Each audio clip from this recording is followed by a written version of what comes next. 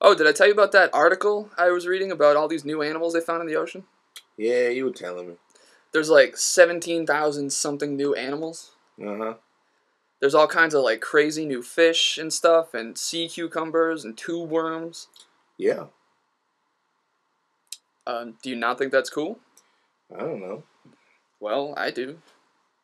I don't know. I mean, I I guess that's interesting. Yeah. It- It's just like I'm a cat. So I mean, when you tell me about all these new fish they keep finding, and I'm just kind of like, I don't know. Can, can I eat them? I see what you're saying. You know? Right. Well, they filmed this one giant fish that's like 50 feet long. Actually, that is pretty crazy. I know. What am I like? One foot long? That's like the length of this entire apartment. Damn. Imagine seeing that thing. Imagine eating that thing.